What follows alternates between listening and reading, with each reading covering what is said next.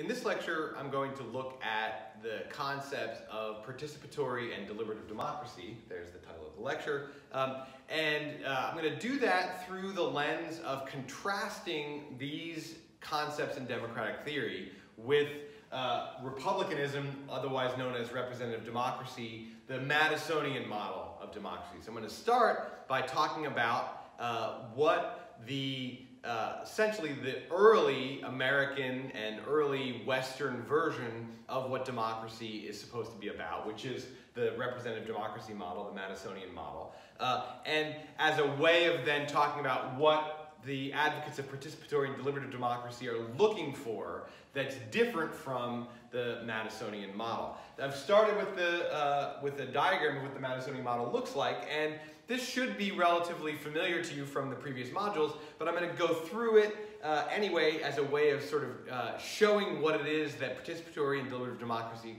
are attempting to modify and uh, advance and in a particular direction. So what we have in a uh, standard Madisonian model is an electoral system and a system of governance, and uh, the um, thing that happens is there are elections, and the winners are the representatives, and the representatives then aggregate the interests they represent in terms of creating policy outcomes within the confines of the system of checks and balances. And this is an ongoing process. It's linear in this sense, but it's an ongoing process because what we end up getting here is people, representatives have the end of their term, and so we have a cycling back and forth between the electoral system and the system of governance, and then policy outcomes happen when they happen, right? Um, and the idea here is that the relationship between these systems and the people who are seeking to advance their interests, this is the underlying assumption of the Madisonian model, is that what the people want is to advance their interests. It's an interest-based theory of politics. Um, and uh, while Madison was not the first or, or most prominent, or first, excuse me, not the first one to advocate this idea, he is sort of the most prominent American advocate uh, of this notion that democratic politics is essentially a struggle among interest groups, he called them factions, uh, to advance their interests through the mechanisms of uh, our government, which is composed of the electoral system and the system of governance. The relationship between the people and these two systems is relatively narrow in the Madisonian model. Part of the uh, idea of republicanism is that the people don't have a very vigorous presence in the overall system. They are off to the side. And what are their two essential uh, uh, influence points? Primary, voting, right? And this is periodic. The people get to vote periodically. And because of the end of term, it happens routinely, but it's, I put periodic, but I could also put sporadic. Your life as a voter is very sporadic. You're always part of the people, but you're not always uh, going to be engaged in that life as a voter. And the Voting Act is also quite uh, a limited one because you get to decide a very narrow set of questions from a very narrow set of options, right? In the United States, at the national level, when you go to vote, you get to, at best, vote for one representative in the House of Representatives, one senator at a time, though you have two senators that represent you, and one uh, president. Um, that's it. That's what you get to vote for. Those are our choices that we get to that, that allow us to influence what goes on in the national government. At the state and local level, we have more choices. The ballot consists of more things, but there really are not, even with a larger ballot, the, the interface between the people and policy outcomes via the vote is a very narrow one. Now, I've said this before, but I, what, but I think it always bears repeating. Despite the fact that this is a very thin nexus between the people and the government, we tend to think of that as the primary democratic mechanism. Um, we have a very ballot-centric uh, view of democracy. And the, the ballot is, of course, an extremely important mechanism, but because it's periodic and sporadic, and because it only comes with a narrow range of questions and options, it is not an extraordinarily potent connection between the people and the democratic system.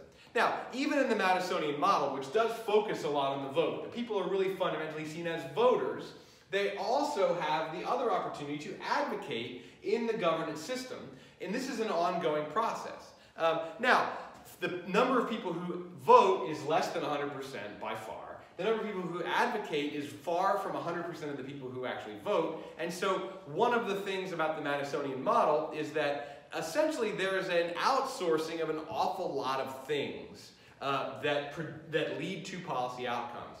One, the very notion of, of representative democracy in the first place is that the people are going to outsource policy decisions to the system of governance, their representatives, right? Uh, and two, mostly the voters are going to outsource, at, or excuse me, the people are going to um, outsource choosing the representatives to whoever the voters are. But even bigger, the people are going to outsource advocacy to a small group of uh, interest group leaders, lobbyists, uh, campaign finance, fundraisers, those kinds of people. There's, this is intended. Uh, Madison's view of democracy was that the people don't need to be actively engaged and participating in a very vigorous ongoing way. One of the things that we as a liberty-loving political culture, we want to have a large scope of individual freedom. Um, we want to have a big private sphere and a big uh, range of actions that are just for ourselves. So our public responsibilities are kept to a minimum. One of the reasons why the Madisonian model is, is uh, sort of describes American politics very well is because Americans like uh, or tend to like the sort of lack of direct responsibilities, the outsourcing of policy outcomes to voters or to, to even just that periodic time and then to advocates. Now, um, and that's and that's it. The aggregation of interest represented that produce policy outcomes are a result of one, who wins the, the seats, and two, who, how the advocates can influence those people who have those uh, seats. That's what politics looks like.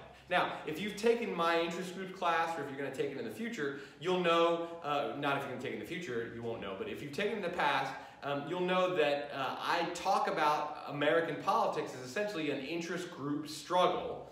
And the struggle is to, one, get as many sympathetic representatives elected as possible, and two, whoever gets elected, to, to influence those uh, elected officials or those, those uh, office holders as effectively as possible. And that that's fundamentally what American politics is. Now, there is some collaboration in American politics. There is some uh, action that goes beyond this basic Madisonian Republican type model, but it's pretty, it's pretty marginal and, and off to the side. It's not central to our politics. And so I do think that that is a good way of talking about American politics.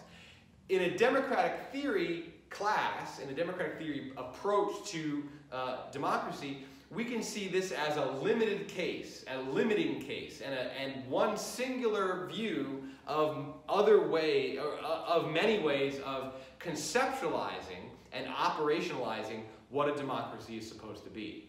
And this is where participatory and deliberative democracy take this model, which is built into our set of institutions. Any democratic system is going to have an electoral system, it's going to have a governance system, it's going to have a lot of other things uh, as well. Um, it's going to have a background political culture. But participatory and deliberative democracy take this basic model and want to add and transform certain features of it so that there's a greater sense of popular connection to policy outcomes. Now, one of the very first forms of participatory democracy that now actually doesn't even really get talked about under that uh, rubric so much is the first addition to this basic model, which is direct democracy. This is where the uh, people get to share power, right? This is a form of voting, and it's also a form of power sharing. Now, we don't have this at the national level in the United States, but, we, but uh, about half the states do have it. Here in Oregon, we have it, where power is shared. Policy-making power is shared between the system of governance, the elected representatives, and the people themselves. Either one can get a policy outcome. Now, note that this is still a relatively thin nexus that is not terribly different from the original model, right? It's still voting, which is still periodic, and it's still voting on a, uh, a uh, limited number of questions with a limited number of options. And usually the options are yes or no, right? A policy, yes or no. Um, that is a very uh, different kind of policy making process than exists in the system of governance where policy options are offered, alternatives are offered, amendments are made, negotiation happens. There's a whole big process that involves aggregating the represented interests. And so it's a much more complex process when legislators who ultimately vote yes or no on a proposed policy, um, or when regulators ultimately pass a particular policy, they have done so in a much more complex, rich, multi-stage, multi-dimensional process than voters who were engaged in direct democracy, where they're basically being presented with a yes or no question. And so this is, while this does increase the amount of participation, it doesn't fundamentally alter the relationship between the people and the system that's going on here. Um, what participatory democracy is looking for, I'll put this up here, is active engagement and power sharing slash collaboration. And this is contrasted with the Madisonian model's emphasis on voting and advocacy. Right? Voting and advocacy are still part of the participatory model. Uh, there's not a claim that like, well, people shouldn't be doing those things. No, they should be doing those things, but there should be engagement and power sharing slash, slash collaboration. Direct democracy is sort of the very first, kind of most primitive step towards power sharing. As I say, it is a form of power sharing, but it's a pretty thin one. Um, what are the other forms of engagement and power sharing or collaboration that are envisioned by uh, the uh, proponents of participatory democracy? Well, one, there is an active engagement in campaigns. Not just more people voting, not just getting our voter turnout rate closer to 100%. That's really just taking this nexus of connection and broadening it to as much of society as possible. Engagement with the electoral system is, uh, and this is an expectation of participatory democracy. It's not enforceable. Uh, it's not as though you can add a law or create a new process. It's an expectation that people will look at elections as more than just an opportunity to learn information and make a decision and go cast their ballot. To get engaged with connecting with campaigns, giving their time and energy to uh, candidates and causes that, that they support, spending uh, the time to network with people and connect with people to figure out what it is that they want to get engaged with in the first place, to maybe uh, be more likely to run for office, to participate in campaigns in a way that they understand what the electoral system looks like from the inside, not just from the perspective of a voter who's handed a ballot with a bunch of things that you can, that you can uh, fill out. So participatory democracy is, is uh, in this sense, it's a cultural shift that advocates that uh, the people take a bigger, play a bigger role in the electoral system than just as voters. That you're a, a voter is, is really not a participant in the electoral uh, system. A voter, a vote is a commodity. It's a thing that you give to one candidate or another, or to one uh, ballot measure or another. Uh, participation is involvement in the actual process of deciding who the winners are. Right? And so this aspect of engagement is a cultural shift. Now, direct democracy is a new structure that promotes greater, uh, that promotes power sharing, and presumably uh, this also promotes greater level of engagement because now voters, instead of just looking at people they're going to select who go off and are going to go into the governance system and make decisions, they themselves are playing the role, in however limited and narrow of a way, of policymaker. And so that will promote a greater level of engagement, of, of uh, connection with the policy question. As opposed to, I'll vote for whoever I like, whichever, uh, or you know, if I tend to vote for one party or another, or whoever seems most trustworthy, or whoever is most charismatic, or pushes my emotional buttons, whatever, and then they go make policy, right? When you get to vote directly, you are going to be more engaged in the policymaking process because there's more to learn when you're voting yes or no. I mean, you don't have to learn. You can just say, well, yeah, marijuana, yes, or uh, um, corporate taxes, no. But it will promote the opportunity for people to create the opportunity, and that, that opportunity will promote greater level of engagement. The power sharing uh, notion, though, adds another thing, and this is where the participatory democracy movement that first got started in the 1960s and is now seeing a sort of revival of uh, energy is in creating um, new participatory connections here. That uh, there is power sharing and collaboration between citizen groups and the system of governance. Um, so, for example, uh, there's a, this concept of participatory budgeting, right? Under the traditional model, budgets are passed by elected representatives. Um, the concept of participatory budgeting is that some part of the budget is set aside for a citizen board to determine the use of and that that citizen board is drawn from the population as a whole and there are ample opportunities for people to get involved. It's not just a new form of governance that you have to get elected to and the representatives, the winners, get to decide.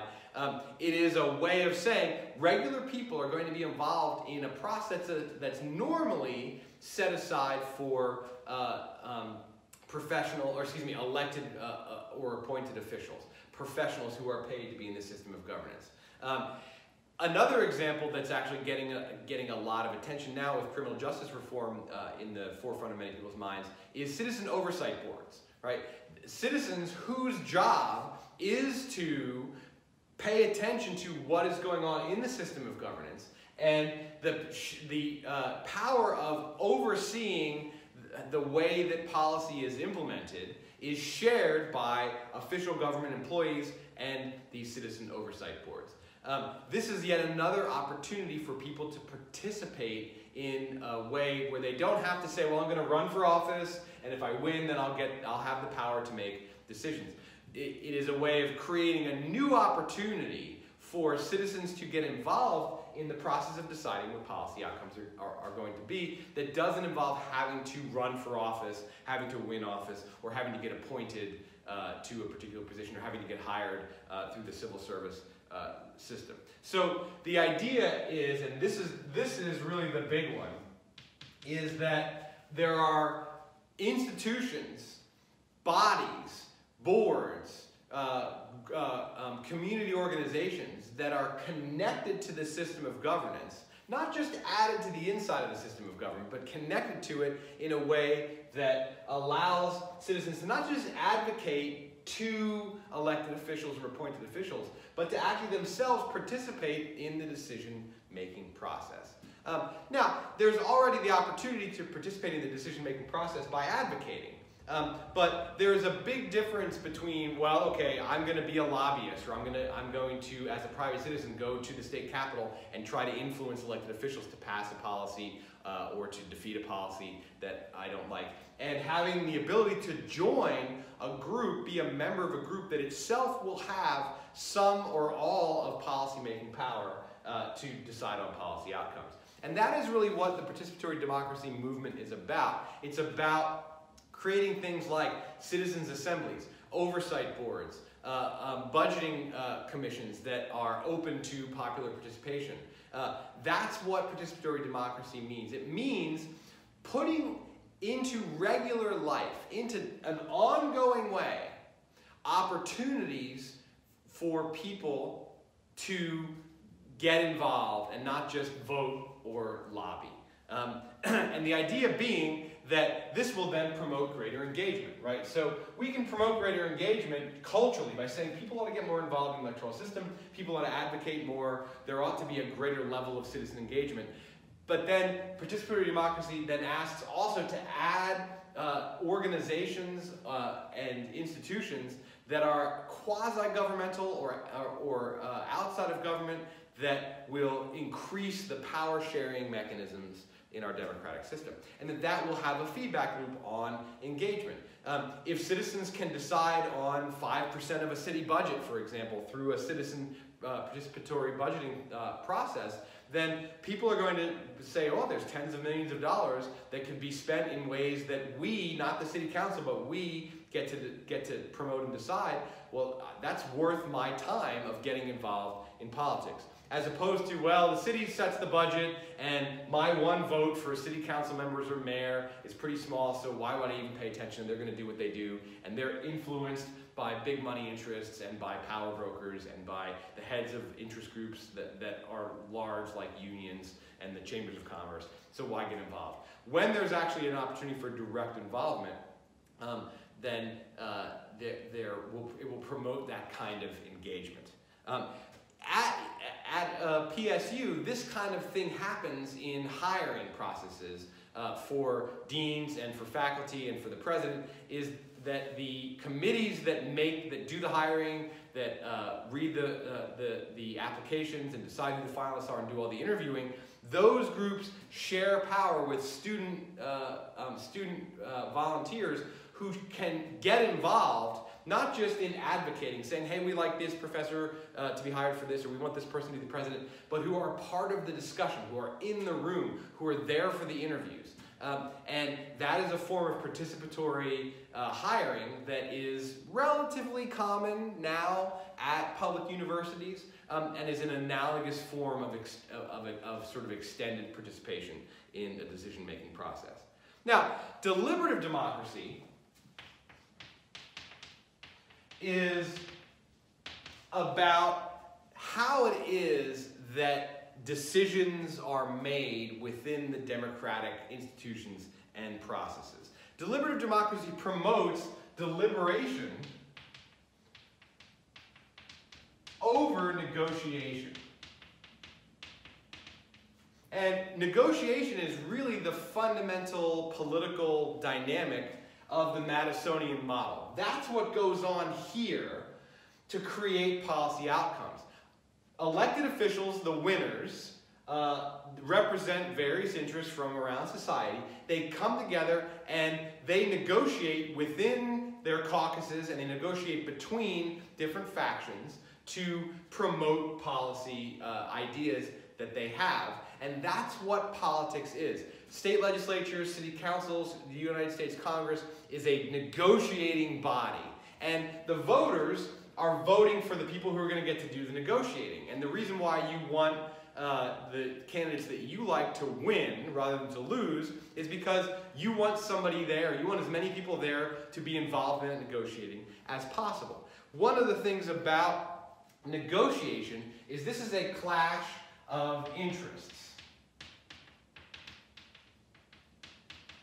And that is what Madison envisioned is going to happen anyway. In his view of human nature, humans are going to always try to advance their interests. It's built into us. And so when we, when we create a system of uh, popular government, that's not going to change. People are still going to want to advance their interests. And that's why checks and balances are so important, and that's why the nature of the electoral system is so important, is that we want to create a way that people's interests can clash in a way that we get the aggregate of those interests and that the will of the people will result from a negotiation that between these clashing interests. And that's what politics is and is supposed to be. And it can't be any other way. This is where Madison's conception of human nature is such that that's what humans are like. They're, we are built to promote our interests, and so if people get in the way of our interests, we're going to try to win that battle. They're going to try to win that battle, and democracy will end up being, as any political system is, but democracy will end up being a clash of of interests. Deliberative democracy asks people who are participating in the decision-making process to view policy outcomes not as either advancing or hindering their interests, but as either advancing or hindering the public good, the common good, uh, social goals. And so what deliberation is, is it's a clash of ideas and opinions.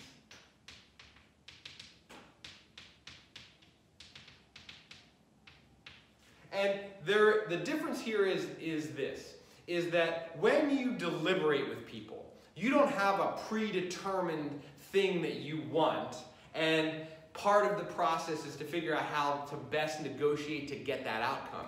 How to use the leverage that you have, how to be clever, uh, how to influence uh, people uh, who, are, who have different interests than you. When you're deliberating, that's a collective process of coming together to decide what's best, not who's the winner. And that's the difference. Here we get winners and losers. Here the question is, what's best for us all? Deliberation is a mindset. So is negotiation.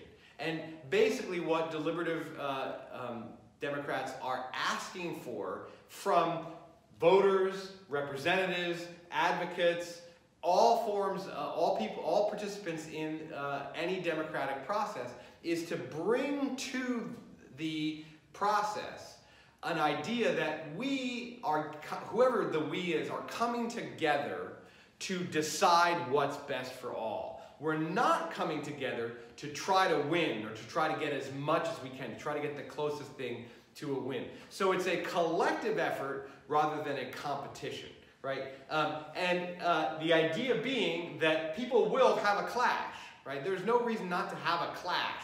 Not everybody's going to agree, right? Okay, so let's say that we uh, are facing, um, you know, a, a global pandemic. What's the best way to do this? What's the best way to address this problem? Some people are going to say, well, the best way to address this problem is to require people to have masks, to put as many resources as we possibly can into finding a vaccine, to uh, providing money for uh, healthcare resources so that when a lot of people get sick, there's not healthcare overwhelm. Other people are going to say, no, the way to deal with the pandemic is to just kind of let it burn its course through us and let people decide how they individually and as families want to address this. Uh, and let's just, let's just let it play out. Now, that those two opinions are going to, and other opinions in between those two, are going to result in a clash. If people come saying, well, my opinion is, my, is what I want, and the more of that that I get, the more of a winner I am, um, that's going to lead to a clash of interests, right? A clash of opinions is like, well, I think that's true. I'm going to listen to other people's opinions and with an open mind, and I'm going to pay attention to why it is that they might be a that, that that idea might be a legitimate idea to, to have. Not you're an opponent of mine, you're trying to get something that you want, I'm trying to get something that I want, and so rather than listening to you and why you have that position, I'm going to do the best I can to uh, to win this particular negotiation. It's a mindset attitude right? Um, imagine that you come to class, to a, to, to, to a college class, and you have a set of opinions. Let's say it's a, let's say it's a it's a it's a literature class, and you have a set of opinions about uh, certain kinds of novels. That novels that are essentially plotless novels that are heavily thematic and that really just are about people and feelings, uh, um, not about plot and uh, um, action. If you have have the opinion that that is uh, bad, that it's annoying, you don't like it, right? And you come to class ready to essentially hold that opinion and argue that opinion, you're going to have a different kind of experience with that class than if you come into class with that opinion, right? You might come into the class with that opinion like, you know what, I just like plot-driven, action-driven fiction. Um, I don't get why people might like plotless, thematic, uh, feelings-oriented type of literature when you come with an open mind to that, let's say that that's what the professor is either promoting or that's just one of the things that they talk about. If you come into it with, with an open mind, you still have your opinion. You don't have to come into it with no opinion. But if you come into it with an open mind, you might at the end be like, oh, I never looked at it that way. And when you're trying to argue with somebody about why one thing is superior to another, you're not going to hear the real reasons. You're going to look for opportunities to provide counter arguments uh, against them. That's seeing, that's experiencing a college class as a negotiation or an argument in that case, instead of an open-minded uh, um, exploration of a topic. Now, when you have an open mind, to other people's opinions and why they might hold them and the reasons why that opinion might be a good one. That doesn't mean that you're going to be squishy and you're just going to switch your opinion to what other people think. It means that you are going to genuinely take in their perspective, their arguments, uh, their viewpoints, and make your analysis. And you are going to advocate for your opinion even as you're being open-minded. So deliberation is not about letting other people run roughshod of you who have stronger opinions or not having your opinions matter. It's about being having it, it be uh, the, the discussion be an open-minded exploration. And you may end up with your mind staying the same, and you may end up with your mind being changed or some kind of combination of the two of those things. Now, deliberation doesn't mean that you can decide policy questions just by discussing open-mindedly and exploring. Ultimately, a decision has to get made. And in either of these models, unless there's a consensus that emerges, which is really not going to happen very often, there's going to be a point where voting has to take place right? You have to cast a ballot. Let's say it's a city council debate over whether or not to, uh, you know, change the way that police are trained to deal with domestic disputes, right? That, some, that policy is going to get made or it's going to fail, uh, whichever is the case. Ultimately, unless the members of the city council can come to some kind of an agreement through discussion, there will need to be a vote. And the majority rules or some kind of supermajority requirement will obtain. And so that doesn't, deliberative democracy doesn't mean there's no voting. It doesn't mean there's no ultimate counting up of the, of the majority uh, viewpoint. What it means is that prior to that moment, the approach of the decision makers, the, the, those who have the votes, the city council members, the approach is going to be one of clashing ideas and opinions, a question, what's, what is the best approach here? Um, and you have a different opinion than I have, and let's discuss it. I want to find out why you believe what you believe. You want to find out, find out why I believe what I believe. We're going to pay attention to the fact that maybe we haven't seen everything. Um, and uh, at the end, we're probably going to have to vote, and it's not going to be a 100% consensus in, on one side or the other, so there will be winners or losers. But that democratic process will be different it will feel and look different and will, in some cases, produce different policy outcomes than if the people who are in the decision-making body go into it as a negotiation.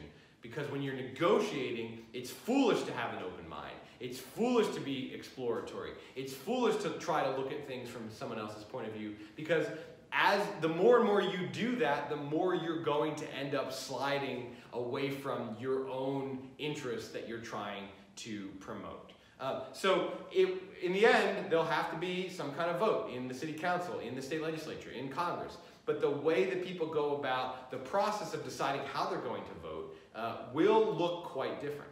Now, one of the other features of both participatory and deliberative democracy um, is that uh, there's an underlying value of inclusivity.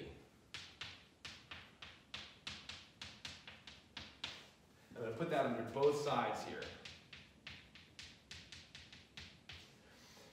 Part of the idea of increasing engagement is to get more people involved, right? More opportunities to influence the outcomes, more opportunities to get involved in the electoral system, more opportunities to share power with the elected uh, and appointed representatives means that there's going to be a greater inclusion of people who have uh, traditionally marginalized perspectives, lifestyles, uh, existence, uh, um, minorities, women, poor people, uh, uh, immigrants, anyone that's been sort of traditionally marginalized from the uh, standard uh, political system is going to have more opportunities and more influence, and so we're going to get greater inclusivity.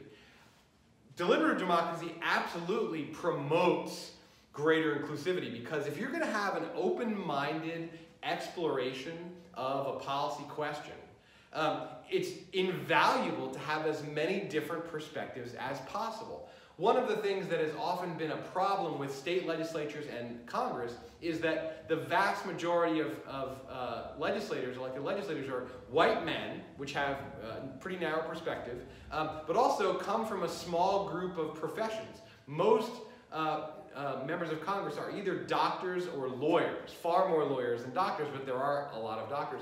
Many of them are professionals of some kind, accountants or uh, uh, small business people.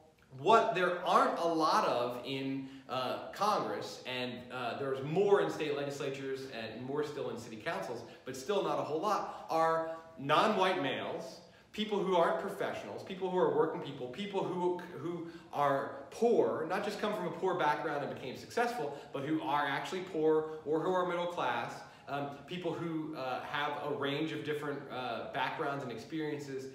That is a sort of problematic artifact of our electoral system as well as uh, the inherent power, the, the implicit power structures and biases in our broader culture. It's harder for women to win uh, election. It's harder for people who aren't white to win election for a variety of reasons. Um, all of that exclusion attenuates the kinds of viewpoints and perspectives that can be brought to a deliberation.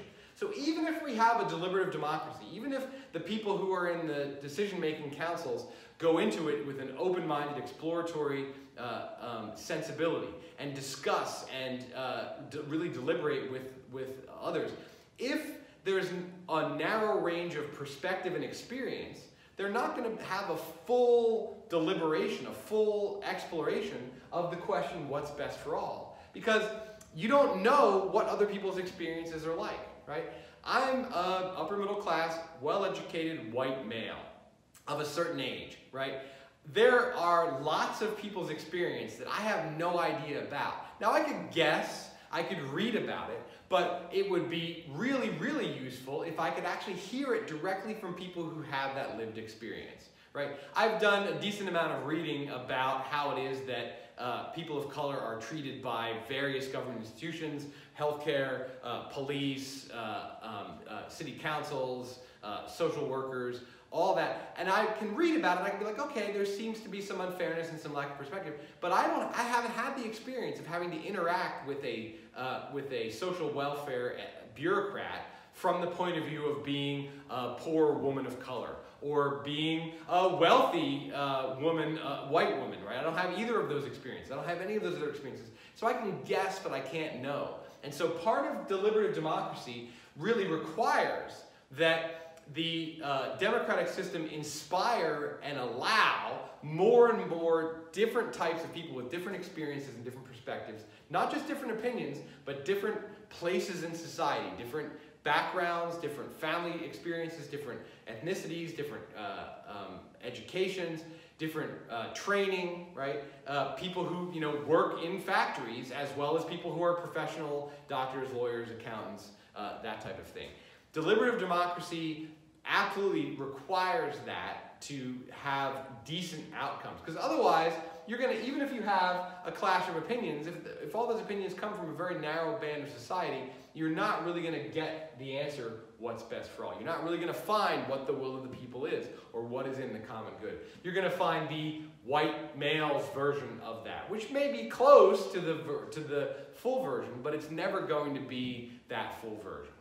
So inclusivity is absolutely an important uh, thing. Now, some of this stuff can be done through formal changes to our democratic system, particularly here, right? Power sharing uh, and collaboration mechanisms are uh, possible. We can also have changes that will make it more likely that people will get engaged in the electoral system. Um, for example, uh, public uh, funding of elections or uh, small dollar donation matching are uh, policies that could promote greater engagement, right? If, if I knew that I could donate $10 to a campaign and that $10 was going to turn into a match of $90 from uh, the city or the state, then I would have an incentive to give that $10 and I would have an incentive to pay attention to where that money was going because that money was gonna, is going to be leveraged. It's not just $10 out of my pocket, it's $100 towards a cause and so I'm going to have an incentive to pay more attention. I'm also going to then have an opportunity to be like, okay, I'll donate $10 to this cause, they'll get $98 extra, and I'll then also donate some time to uh, this particular cause or this particular candidate because I only had to kick in $10 uh, and now I can kick in some of my time as well. So there are some mechanisms that can be changed to promote participation and deliberation, but also to a certain extent, both participatory and deliberative democracy require a cultural shift a change in view from the ballot centric view of democracy. That democracy is about voting and that majority rules is the main mechanism of democratic decision making. Voting is important. Majority rules has to happen at a certain point when there's uh, clashes, usually at the end of the process, right before policy outcomes are decided. But it, to the extent that we think of that as not just being the beginning of democracy, but the end of democracy, that's a sort of limitation on a vigorous democratic culture. So participatory and deliberative democracy are related but separate ideas that are asking for people in a democratic society to see their membership in that society in bigger terms than the Madisonian model. Madison thought that people were just going to interact with the political system in this way, and to a certain extent, the system that we have set up has promoted that particular kind of uh, interaction. We tend to see ourselves as just voters. Uh, we tend to see uh, our interactions with the democratic system as the ballot box every year or two years, or if people who only vote in presidential elections every four years. Um, we tend to see our connections to uh, the system of electoral system, the system of governance as being very attenuated. And that will be a self-fulfilling prophecy. If we see ourselves that way, then we're going to act that way, and that's what's going to happen. Advocates of participatory and deliberative democracy want people to see their uh, connection to the democratic system as being much broader